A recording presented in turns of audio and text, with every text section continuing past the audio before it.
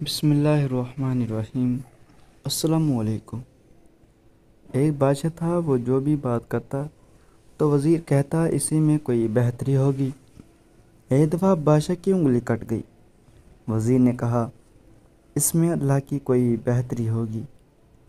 बादशाह को बहुत गुस्सा आया कि मेरी उंगली कट गई है, और तुम कह रहे हो कि इसमें भी अल्लाह की कोई बेहतरी होगी? बादशाह ने वज़ीर को जेल में डाल दिया तो फिर भी वज़ीर ने कहा कि इसमें भी अल्लाह की कोई बेहतरी होगी। बादशाह को बड़ा गुस्सा आया। एक रोज़ बादशाह शिकार के लिए अपने इलाके से दूर निकल गया और जंगल में ऐसे इलाके में चला गया जहाँ पर ऐसे लोग रहते थे कि वो लोग साल में एक आदमी की कुर्बानी देते थे। इन्होंने बादशाह को पकड़ लिया। जब इसको ज़िबा करने लगे तो इन्होंने देखा, बादशाह की उंगली कटी हुई है। इन्होंने बादशाह को छोड़ दिया कि हम ऐसे शख्स को कुर्बान नहीं करते जो ऐबदार हो। इस वजह से इन्होंने बादशाह को छोड़ दिया।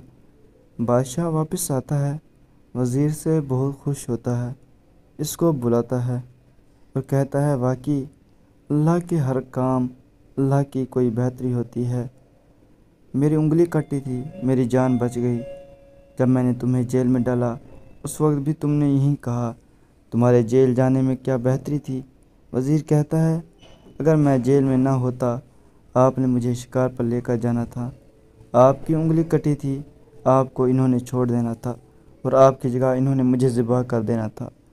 आप समझ आई कि अल्लाह के हर काम में बेहतरी होती है? ए इंसान, तकदीर के लिखे पर कभी शिकवा न किया कर। तू इतना अक्लमंद नहीं है जो रब के इरादे को समझ सके।